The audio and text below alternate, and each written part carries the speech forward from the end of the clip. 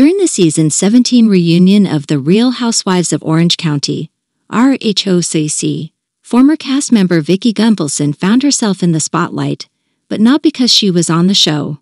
Instead, it was revealed that Gunvalson had sent some text messages to the show's executive producer, Andy Cohen, during the reunion.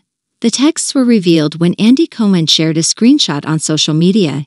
In the messages, Vicki Gunvalson expressed her dissatisfaction with some of the things happening on the reunion show, criticizing the behavior of some of the current cast members.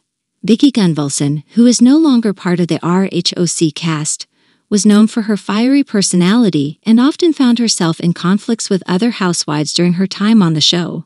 It seems that even after her departure from the series, she still keeps an eye on the drama that unfolds among the current cast.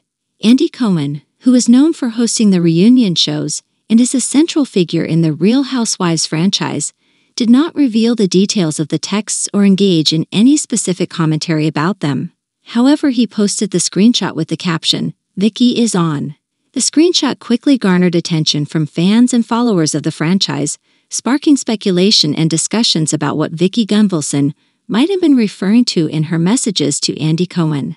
Vicki Gunvalson, often referred to as the OG of the OC due to her long-standing presence on RHOCC, left the show after season 14. Her departure marked the end of an era for the series, as she had been a prominent and polarizing figure on the show since its inception. While Vicki Gunvalson may no longer be part of the RHOC cast, it's clear that she still has strong opinions about the show's dynamics and isn't shy about expressing them, even in private messages to the show's executive producer. The RHOC reunion shows are notorious for their heated confrontations, revelations, and emotional moments, and it seems that even behind the scenes, the drama continues to unfold.